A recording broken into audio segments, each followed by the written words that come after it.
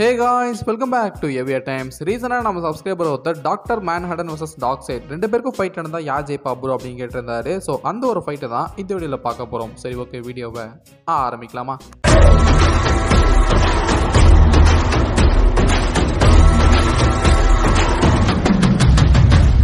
First one strength doctor மேண்டனை பொறுத்த வரைக்கும் அவரோட மானிகுலர் ஸ்ட்ரக்சரில் அவருக்கு வேற லெவலில் கண்ட்ரோல் இருக்கும். அண்ட் அதை யூஸ் பண்ணி அவரோட மஸ்குலர் டென்சிட்டியை எவ்வளோ வேணால் பெருசாக மாற்ற முடியும் எவ்வளோ வேணால் சின்னதாக மாற்ற முடியும். அண்ட் அந்த அளவுக்கு பயங்கரமான ஸ்ட்ரென்த் அவர்கிட்ட இருக்குது பிகாஸ் இவர் நினச்சா எந்த ஒரு கஷ்டமும் படாமல் ஈஸியாக டேங்க்ஸை தூக்கி வீச முடியும்.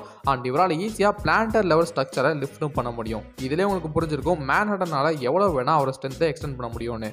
அண்ட் அந்த ஸ்ட்ரென்த் லெவல் அவர் ஃபேஸ் பண்ணுற சுச்சுவேஷனை பொறுத்து சேஞ்சும் ஆகிக்கிட்டே இருக்கும். ஸோ இப்போ அப்படியே டாக் சைடு கிட்ட வந்தோம்னா இவரோட நியூ காட் ஃபிசியாலஜினால இவருக்கு நிறைய இன்க்ரெடிபிள் ஸ்ட்ரென்த் கிடைச்சிருக்கு. அண்ட் இந்த ஸ்ட்ரென்த்தோட டிசி நியூஸில் இருக்க நிறைய கேரக்டர்ஸ்னால கூட கம்பேர் பண்ண முடியாது. அந்த அளவுக்கு ஸ்ட்ரென்த்தை இவர் பொசஸ் பண்ணுவார். ஈவன் நிறைய இடங்களில் சூப்பர்மேனுக்கு ஈக்குவலாக ஸ்ட்ரென்த்தை பொசஸ் பண்ணியிருக்காரு அண்ட் இன்னும் சில இடங்களில் சூப்பர்மேனை விட அதிகமான ஸ்ட்ரென்த்தை இவர் பொசஸ் பண்ணியிருக்காரு அண்ட் ஒரு சில இடங்களில் கிரிப்டானியன்ஸோட ரா ஸ்ட்ரென்த் இருக்கும்ல அதை கூட இவர் ஈஸியாக டிஃபீட் பண்ணியிருக்காரு so without doubt Darkseid சூப்பர்மேனுக்கு ஈக்குவல் இல்லைனா சூப்பர்மேனோட ஸ்ட்ராங்கான கேரக்டராக தான் தெரிகிறாரு இந்த இடத்துல ஃபேக்ட் என்னன்னா மேனடன் அவரோட மாலிகுலர் ஸ்ட்ரக்சரில் செம்ம கண்ட்ரோலாக இருக்கிறதுனால அவரால் எந்த அளவுக்கு வேணால் ஸ்ட்ரென்த்தை பொசஸ் பண்ண முடியும்.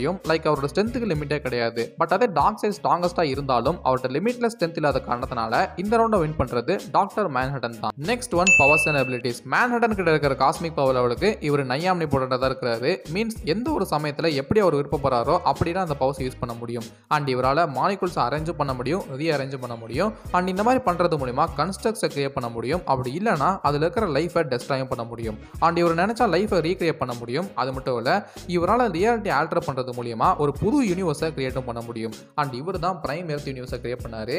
அண்ட் இவர் ஃப்ளாஷோட அட்டம்ப்டை ஆல்டர் பண்ணுறது மூலியமா ஃப்ளாஷ் பாயிண்ட் ஈவெண்ட்டுக்கு அப்புறமா இந்த யூனிவர்ஸை நார்மலாக மாற்றி விட்டார். ஸோ இப்போ அப்படியே டாக் சைடு பக்கம் வந்தோம்னா டாக் சைடோட பவர்ஸ் ஒமேகா எஃபெக்ட்னால வந்த ஒரு விஷயம் தான் லைக் இது வந்து ஒரு டார்க் காஸ்மிக் எனர்ஜின்னு சொல்கிறாங்க அண்ட் இதை யூஸ் பண்ணி என்ன மாதிரி எஃபெக்ட்ஸ்லாம் அவர் வர வைக்கணும்னு விரும்புகிறாரோ அதை ஈஸியாக வர வைக்க முடியும்.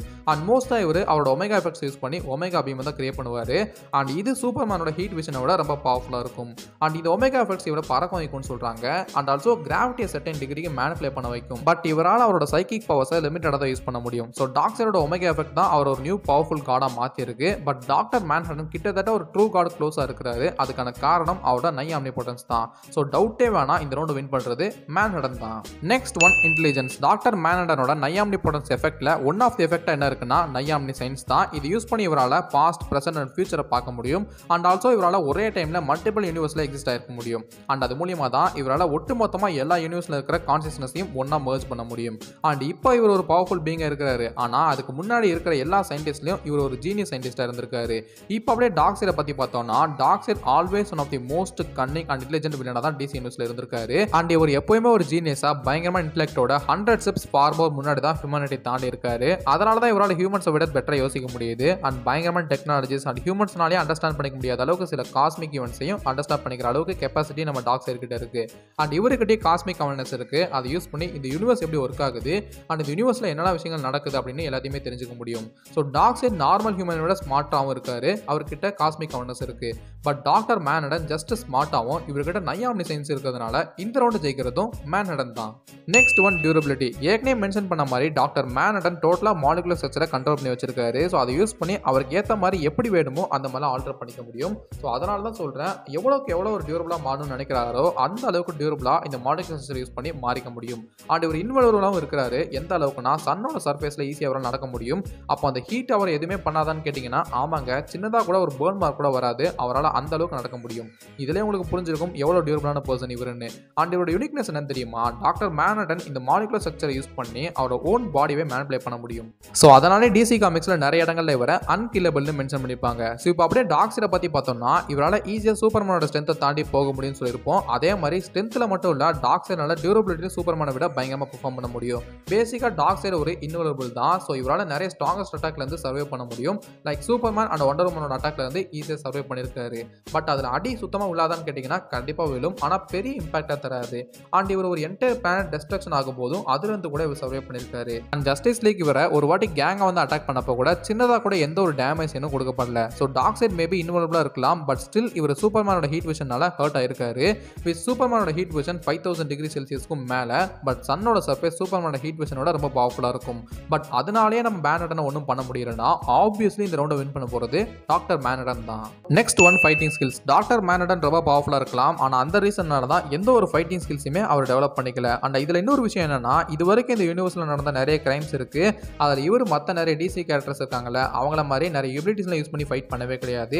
ஏன்னா அவர் ஒரு ஃபைட்டராக ட்ரெயின் ஆகணும் ரீசனே இல்லைங்க. பிகாஸ் அவர் என்ன நினைக்கிறாரோ அதை ஜஸ்ட் சிங்கிள் தாட்டில் அவரால் பண்ண முடியும்னா அப்புறம் எதுக்குங்க ஃபைட்டிங் ஸ்கில்ஸு நீங்கள் என்ன நினைக்கிறீங்க? ஸோ அப்படியே டாக் சைடு பக்கம் போனோம்னா இவர் அதிகமாக நம்ம ஃபைட் பண்ணி பார்த்துருக்க மாட்டோம். பிகாஸ் நிறைய இடங்களில் அவரோட ஆர்மிஸ் யூஸ் பண்ணி தான் ஃபைட் பண்ணியிருப்பாரு. பட் உண்மையாகவே டாக் சைடு ஒரு strong hand to hand fighter தான். ஸோ கண்டிப்பாக அவர் முன்னாடி ஹேண்ட் டு ஹேண்ட் ஃபைட் பண்ணுறது ரொம்ப கஷ்டம் தான். தட் இவரோட ஃபைட்டிங் ஸ்கில்ஸை யூஸ் பண்ணி சூப்பர்மேனோட கம்பீட் பண்ணுவார். அதே மாதிரி கிரேட்டஸ்ட் ஸ்கில்டு ஃபைட்டர்னு சொல்ல போகிற ஒண்டர்மேனோடையும் கம்பீட் பண்ணி ஃபைட் பண்ண முடியும். ஸோ டாக் சைடு ஸ்ட்ராங்காகவும் பவர்ஃபுல்லாக மட்டும் இருக்கலாம். பட் அதே சமயத்தில் இவர் ஒரு கிரேட் ஃபைட்டரும் கூட. ஸோ இது டாக் சைடுக்கு ஒரு கன்சர்வேஷன் ப்ரைஸ் தான். பிகாஸ் டாக்டர் மேனடன் கிட்ட ஃபைட்டிங் ஸ்கில்ஸ் இல்லை. அது இந்த மாதிரி கேரக்டருக்கும் தேவையும் இல்லை. பட் ஃபைட்டிங் ஸ்கில்ஸ் மட்டும் அவர்கிட்ட இருந்துச்சுன்னா கண்டிப்பாக இந்த ஒட்டுமொத்த ரவுண்ட்ஸையும் இவர் தான் வின் பண்ணியிருப்பாரு பட் அது இல்லைன்றதுனால இந்த ரவுண்டை வின் பண்ணுறது டாக் சைடு தான். ஸோ ஃபைனலி நம்ம கன்க்ளூஷனுக்கு வந்தெல்லாம் Darkseid versus doctor Manhattan யார் வின் பண்ணான்னு கேட்டிங்கன்னா டாக்டர் மேனடன் ஒரு பவர்ஃபுல் என்டிட்டியாக இருந்து இந்த என்டையர் யூனிவர்ஸை அவரால் திடன் பண்ண முடியும். அண்ட் டாக் சைடுமே இன்க்ரெடிபிள் பவர்ஃபுல் தான். பட் இவர் எப்போவுமே இந்த யூனிவர்ஸ்க்கு ஒரு ட்ரூ த்ரெட்டாக இருந்ததே கிடையாது. பிகாஸ் இந்த யூனிவர்ஸில் அவரோட எத்தனையோ பேர் இன்னும் பவர்ஃபுல்லாக இருக்காங்க. பட் டாக் சைடு ஃபேன்ஸ் ஒரே விஷயத்தை புரிஞ்சுக்கோங்க. காமிக்ஸில் நம்ம பார்த்த டாக் சைடு ஒரு அவத்தார் தான். ட்ரூ டாக் சைடு இந்த யூனிவர்ஸ்க்கு ரொம்ப பியாண்டில் எக்ஸிஸ்ட் ஆயிருக்காரு. ஸோ ஒருவேளை நம்ம டாக் சைடோட ட்ரூ ஃபார்ம் பற்றி இந்த இடத்துல பேசுகிறோம்னா அது டோட்டலாகவே டிஃப்ரெண்ட் டாபிக் பிகாஸ் அந்த வருஷன் டாக் சைடு ஒரு மல்டிவர்சல் த்ரெட்டாக இருந்திருக்காரு ஸோ இப்போ நம்ம இது வரைக்கும் கம்பேர் பண்ண வரைக்கும் இந்த ஃபைட்டை வின் பண்ணுறது டாக்டர் மேனடன் தான். ஸோ இது முழுக்க முழுக்க என்னோட ஒப்பீனியன் தான். இதே மாதிரி உங்களுக்கு ஒப்பீனியன் இருக்கும். அதை நீங்கள் மறக்காம கமெண்ட்டில் சொல்லுங்க. நான் வேலை தரமான வீடியோஸ் வந்து அது வரைக்கும். Tata bye bye